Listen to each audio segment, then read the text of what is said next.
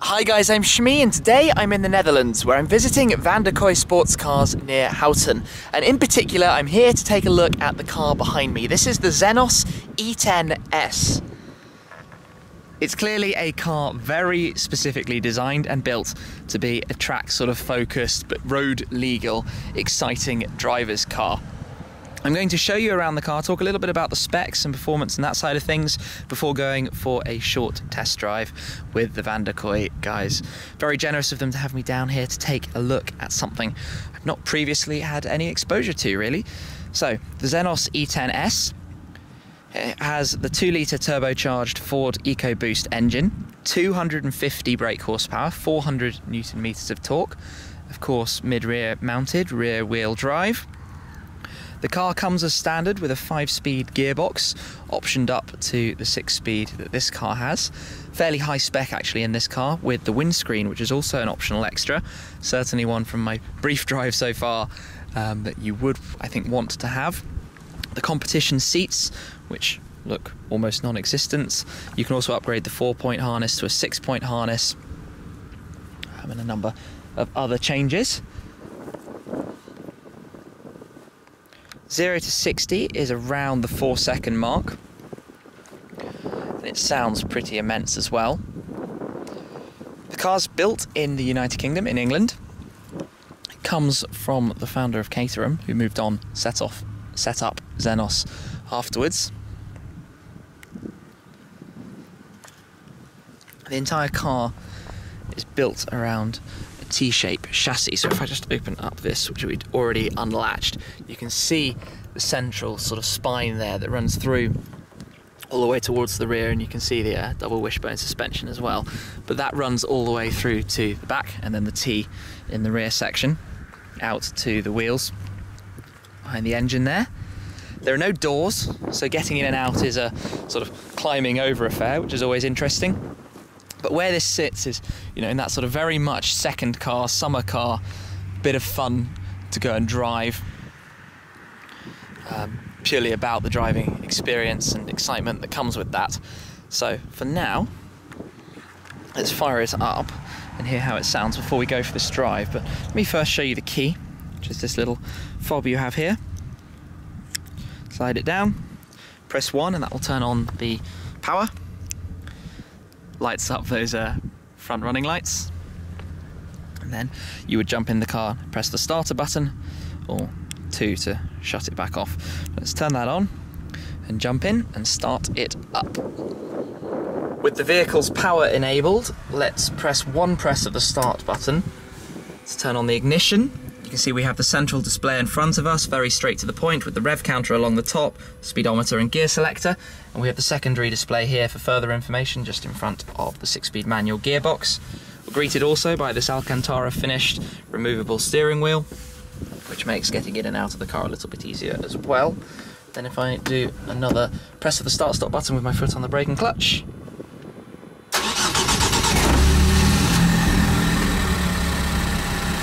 she fires into life and we can see a little bit more of the information here on this central display with the larger speedometer, trip, odometer, rev counter to the left and the fuel and temperatures on the right as well, as well as a boost bar alongside that. Oddly, the car actually has heated seats as well. You can see the little uh, heated, heated seat switch down there on the door. Let's hear it and how it sounds then.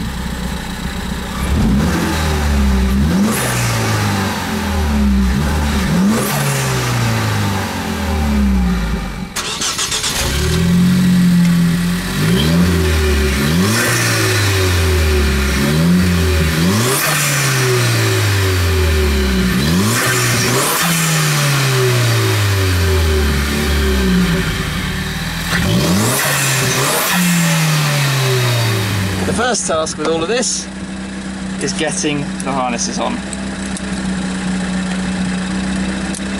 There we go. I'm in and secure. okay, so here goes. Into first gear. Already feels exciting. It's got like an urge to go. And then you get that noise going off with the wastegates.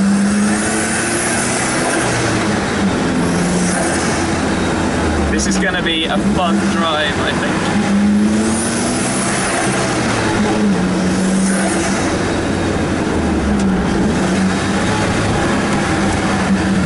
Obviously we've got nothing by way of ABS, traction control or any kind of electronic assistance in this car, so we have to be quite careful.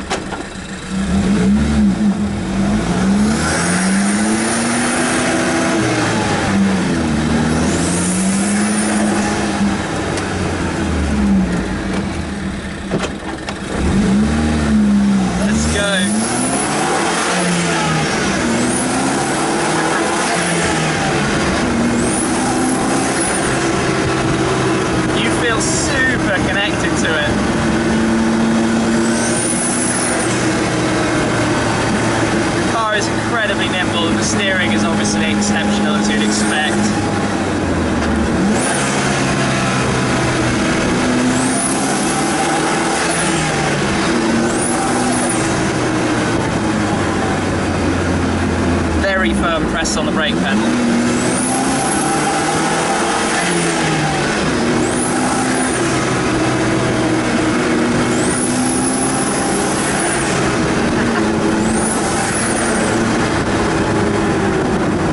just want to keep dabbing at the throttle just to make it make that noise again.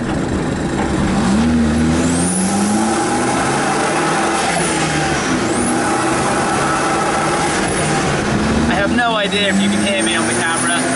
Obviously with no roof, well it's not windy, but it's very noisy from the engine sound behind us.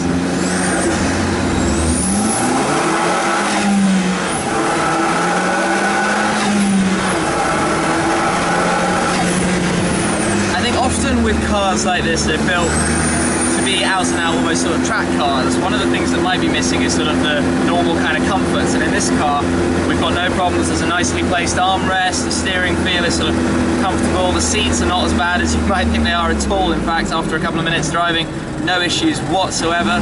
Positioning is great, you can see exactly where the front corners of the car are, which is again good for the driving experience. So it's a driver's car that can very much be driven out and out, out and about on the road. And I think that's one of the purposes with this car. Most of the customers will probably use them as road cars for good sort of fun drives as opposed to necessarily purely on the track.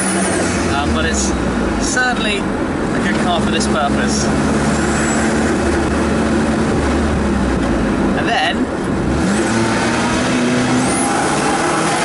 you've got that noise going off behind you again, which is just purely addictive.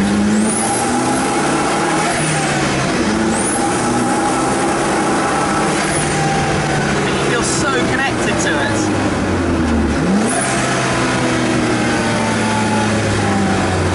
So Zenos is the brainchild of the former Caterham boss Ansar Ali and you can see where all that sort of experience and expertise has come from and gone to because this thing is just a lot of fun to drive.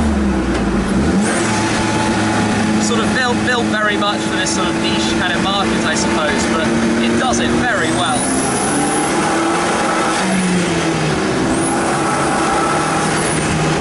And It's obviously no slouch, plenty of performance on tap, the grip is phenomenal, the speed through corners is wonderful. Gearbox is a joy to drive with.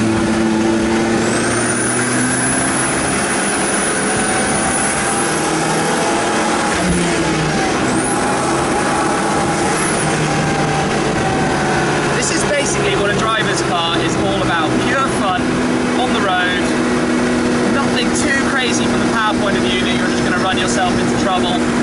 Completely usable, not too uncomfortable, or anything you would sort of not be happy going out and about with. Obviously, if the weather wasn't on your side, it wouldn't be wonderful, but that's a small price to pay. I'm not gonna lie, that was a pretty fun drive. That's a like proper driving kind of experience. It reminds me a bit of when I used to own the Morgan three-wheeler, just pure fun, not necessarily the most practical, just a car you're gonna take out to get pure miles per mile out of. And that's exactly what this has been, the Zenos E10S. Let's take a look around it though at a couple of sort of other different bits and bobs, some of the design stuff, see what we can see just sort of kind of looking around it um, taking different parts of the design. You can see it's really open there through to the tyre. All this whole front area is just meshed and completely open as well behind the number plate. Almost feel like you don't want to have a front number plate on it there.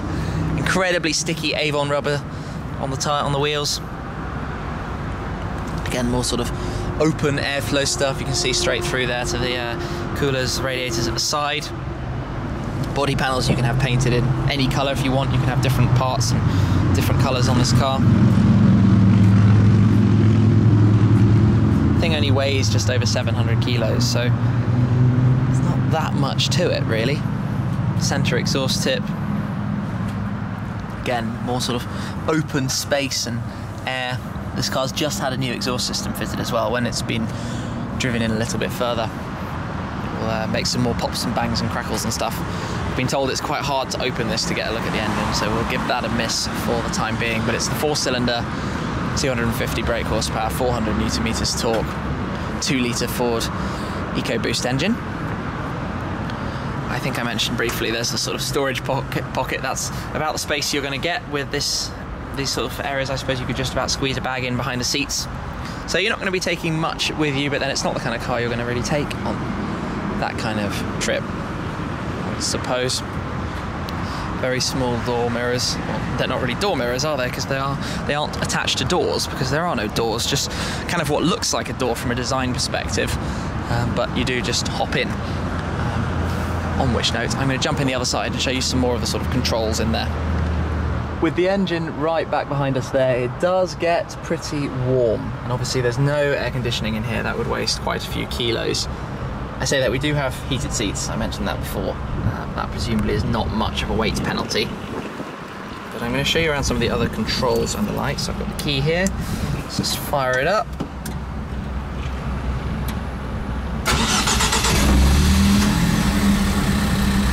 What else can I tell you? So, stalks point of view, you've got fairly basic wipers on one side, indicators lights on the other, of course.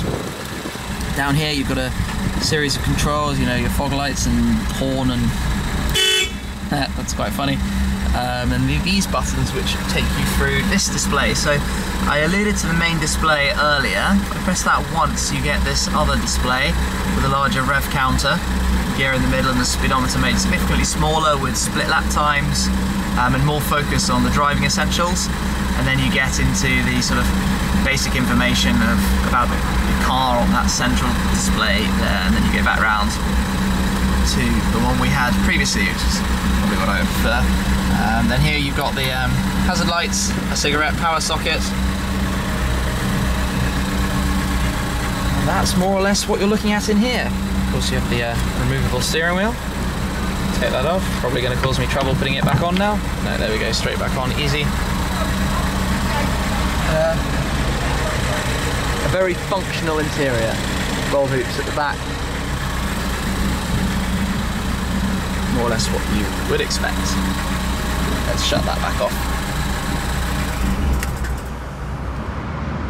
There we go then, the Zenos E10S here at Van der Kooi Sports Cars in the Netherlands. A big thanks to Reinier for having me along and looking after me during my test drive. I've enjoyed that a lot. Here in the Netherlands, with all, all of the taxes they have to go through, it's a 64,000 euro car, but relatively speaking, that's fairly inexpensive for this kind of machine. I don't have the UK pricing to hand, but the base E10 starts from £30,000, just a shade under 29,995 or so. I've certainly enjoyed that. Fun little car to drive.